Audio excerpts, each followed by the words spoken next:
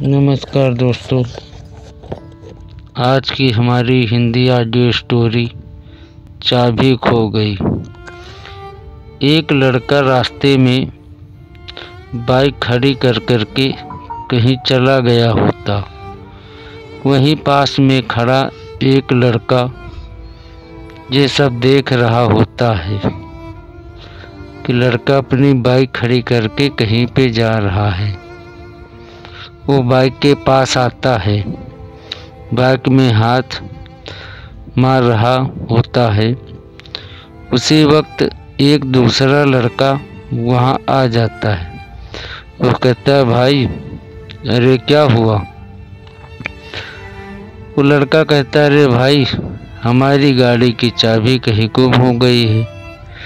वो लड़का कहता है, भाई, मैं मिस्त्री हूँ बाइक का। मैं अभी गाड़ी का लॉक खोल देता हूँ।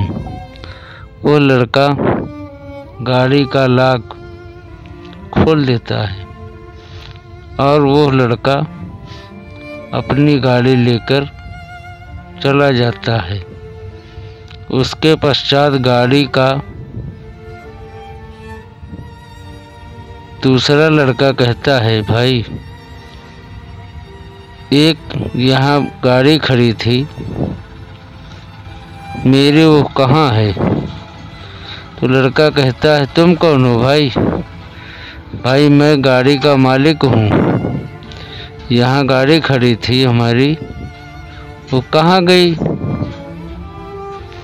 उसकी चाबी गुम हो गई थी भाई। तुम्हारी चाबी, गाड़ी कहाँ है? मैंने ही उसका लाख खोला है। वो गाड़ी लेकर अभी अभी यहाँ से चला गया जिसकी गाड़ी थी।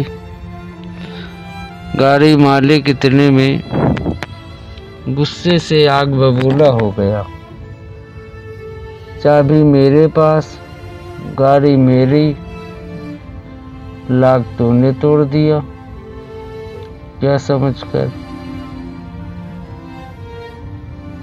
वो ज़ोर ज़ोर से चिल्लाने लगा। और वहाँ पे कई लड़कों की भीड़ लग गई। और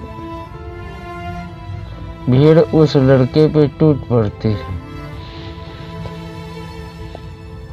कि गाड़ी इसकी है और लाख तूने क्यों खो दिया? सारे लोग मिलकर के उसकी खूब पिटाई करते हैं।